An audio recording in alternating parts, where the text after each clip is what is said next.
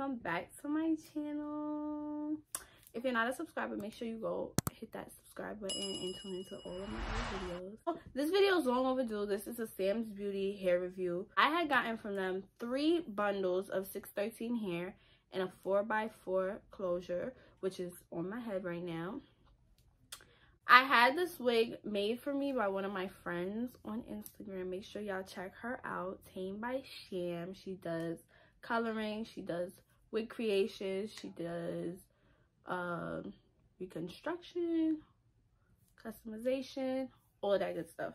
I ended up using only, I believe, two of the bundles and the closure. And um, I made it into a side part. It's actually, it it was the middle part when she made it. I made it into a side part and I just cut it to this length because I wanted kind of like an asymmetrical but not really nothing too short or anything like that. So this is the look I got with it. So I gave her the hair. It was nothing. It was just 613 hair. So you know it has that, that yellowing color, which I don't like. And she darkened the roots. So it's like a it's like a brown root kind of thing. Brown roots and like ash blonde hair, which I really like.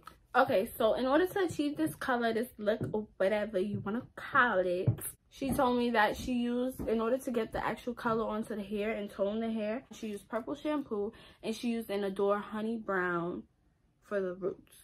So that would be, I thought she used a toner, but I guess not. So yes, that's that. What's the details on the hair? It came 14 inches. So, and I cut it so the 14 probably was like right here. And I just kind of tried to even it out to my liking. Um, what else? It was 14 inches straight hair. The hair, I'm not gonna lie, it does shed a little bit, but it sheds because it was it was dyed once and then toned after. So I'm gonna assume that's the only reason it sheds. It doesn't shed crazy, crazy. Um, but I'm not gonna lie, I don't wrap it. So when I do wake up, it, it's a little tangled. The hair is very full. I didn't use all the bundles. You know, bobs, you don't have to have too much hair. But this is way more than enough hair for, for the look that I was trying to go for. So that's good. I would definitely recommend this hair. Um, I'm to put the link and everything in the description make sure you guys check it out. You know sam's beauty i've been reviewing their hair and every wig i had was good quality. This is the hair y'all.